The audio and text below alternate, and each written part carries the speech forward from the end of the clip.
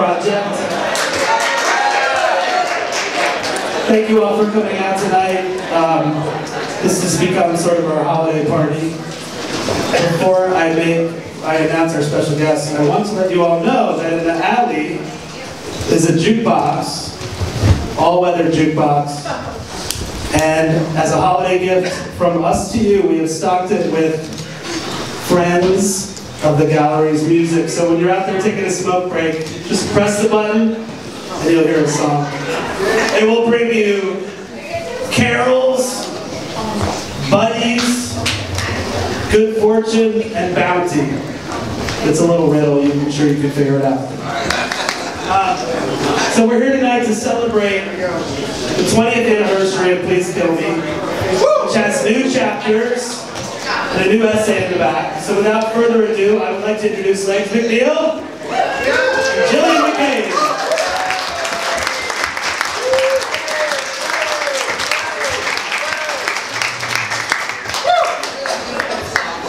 Testing, one, two, three, testing, testing. Hi, thanks for coming out tonight. Um, we thought since there's so much shitty news going on lately, we we'd try to bring some Christmas cheer. And, and the best way we know how to do that is by selecting someone from, that we know is going to be in the audience. Um, and tonight we, to humiliate. And make, no. But tonight, I, I knew my good friend Bob Gruen, the famous photographer, was here. And we, we had a, we were having lunch today, Gillian and I, and uh, I said, let's do Bob Gruen. Bob's coming. So we, uh, we're gonna do them, Do some of them. do some of them, Testing. test it. Actually. Wait, you said you on. I- uh, I'll set it up. Yeah. This is at the end of the very famous Sex Pistols tour, um, which uh, ended in San Francisco. And a lot of us guys were there. Holmstrom and Roberta had gone on the entire, John Holmstrom, the the editor of Punk, and Roberta Bailey, the uh, Punk magazine staff photographer, were on the entire tour. I was in um, Santa Monica with the Ramones. You know, and Holmstrom called me and told me that I had to go on the tour. And so that's where we're gonna start. And it's chapter... I think it's 34. 34, Anarchy in the USA. Legs McNeil. When Holmstrom called me from the road and told me to meet him in San Francisco for the last show of the tour, I had no interest in going. But John told me it was my job, that I was resident punk and had to show up and it'd be good for the story he was writing. Also, Tom Forcade, who was the publisher of High Times, was making a movie and he'd given us a lot of money. And I owed it to Tom and to, and to him to show up.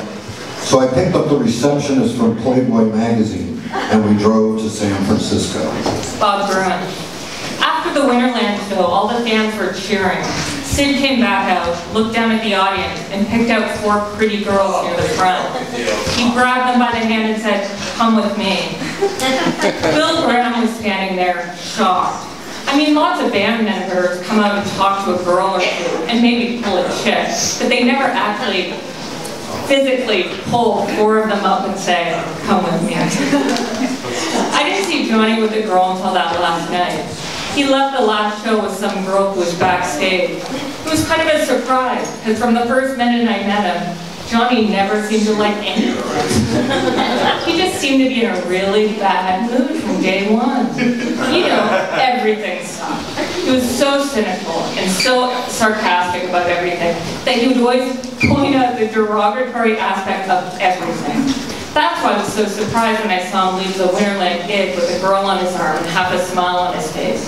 It was the most human thing I ever saw, because it was something so out of character to see him enjoy a moment of life. The Pistols sucked at Winterland. The show was awful, but it didn't seem to matter. Everybody was just thrilled to be there in the presence of the Sex Pistols.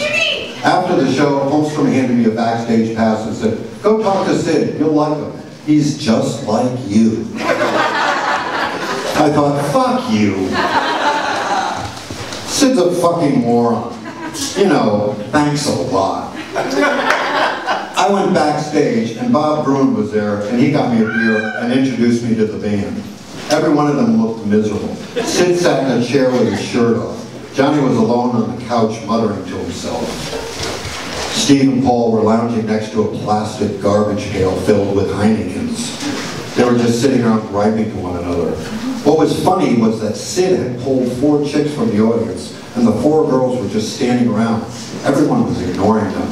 And then Sid turned to them and said, So, who's gonna fuck me tonight? Don't we even get a kiss first, one of the girls asked. She wasn't kidding.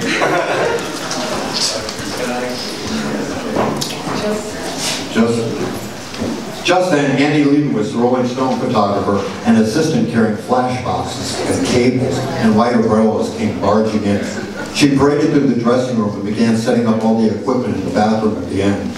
She said, oh, excuse me, Johnny, could you um, get in here um, with a, a shot with Sid? Fuck him, Johnny said. Should I have to go to that bastard? Tell the wanker to come over here. Um, Sid, do you think uh, you can join Johnny on the couch so I can get the shot of the two of you? Fuck off! Okay then, Johnny, can you get in, in the bathroom alone? Piss off! But it's for the cover of Rolling Stone magazine, Leibovitz said. Well then, is my hair all right? Johnny shrieked as he folded his greasy matted hair so that it formed two little horns. It was pretty funny, but overall the whole scene was pretty depressing. The Sex Pistols didn't seem to be having any fun at all. So I loaded up my jacket with Heinekens and split. I didn't know it at the time, but, but that was the last few months of the Sex Pistols' existence. That was one of the last few moments of them as a band together. I came out of the dressing room, and Demita just happened to be walking by wearing Ramone's t-shirt. t-shirt. She was eight months pregnant and had a hole cut in the t-shirt so that her bulging stomach popped through. I peeled off my backstage pass and slapped it on Demita's pregnant belly and said, go for it, Demita. She said, wow, a backstage pass, cool. Then she waddled away to the dressing room. Bob Gruen. I woke up the next morning and there was Tamita, eight months pregnant, sleeping in the bathtub. I said to myself, what the fuck am I doing in San Francisco? I hadn't been home in 10 days, I hadn't changed my clothes in 10 days, and because there was so much competition, I was under a lot of pressure to get back to New York and develop my film. So I made one of my favorite phone calls and said, what time is the next flight to New York? when I was leaving the room, I saw Joe Stevens, a photographer in the hallway. He said, the band is planning to go to Brazil. They're going to record and do some filming down there with Ronald Biggs, the great train robber. You want to come with us? I looked at him and I said, Brazil? What, are you kidding? Who's going to pay for that? He said, well, I'm going to get my newspaper to pay for the airfare. I thought, you lucky bastard. I said, I'd love to go to Brazil, but no one's paying for it for me, so I'm not putting another 2,000 bucks into this. So I went to the airport and took the first flight out. When I got back to New York, it was snowing. It snowed for two days. I stayed in the house and worked in the darkroom day and night during the entire blizzard. I felt pressured because tons of magazines were going to be doing big features on the Sex Pistols. I finally took a break in the middle of one of those nights and went over to CBGB's. I walked in and Johnny Rotten was there. He had flown in from San Francisco. He said, did you hear the news? I said, what news? He showed me his t-shirt and said, I survived the Sex Pistols tour. Johnny had written on his shirt that the band had. I said, well, what does that mean? He said, what do you think? This is it. We broke up. I said, what do you mean you broke up? I just invested two weeks and a lot of money into these he said, that's it. Malcolm and the rest of the guys went off to Brazil and I'm here. We're not doing it anymore. They were the biggest band in the world and they just broke up. Everything just seemed to be the opposite with that band all of the time. Thank you.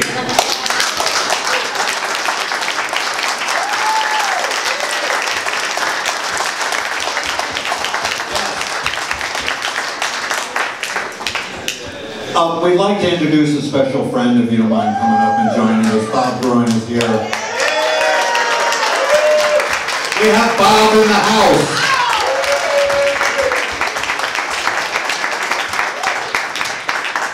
Say a few words. It's all true. We, we, we had kind of a, great year this year. Um, we put out the 20th anniversary edition. I had some problems with that. We did a, a great tour of the Ace hotels across America, and it, it was really fun. It really was fun. Um, um, we did a two-hour radio show that's going to be uh, loaded up to our new website soon, um, in the next month or so. Um, it, it was a we did it with Michael Des Barres. I don't know if you know Michael Des Barres. He was in. Um, Just Silver. I know, just Silver. What was the name? Silverhead. Silverhead. I, I always forget the fucking Silverhead. it's the name of the band, you know. But so we did that, and uh, it, it aired on about um, 300 stations. yeah 300 national public radio And it was stations. um, uh, public radio, so we didn't have to pay for the song, Yeah. which is the reason we could Did do it. yeah, it was very good. But as someone, a very, very special friend, Tom Hearn, could he come up, please? Yeah, Tom, tell me, where are you? Oh, he's gonna hide. Oh, come on. Come on, fuckface. Where is he? Where is he? Tommy. Okay, These are his photos that are showing up with him.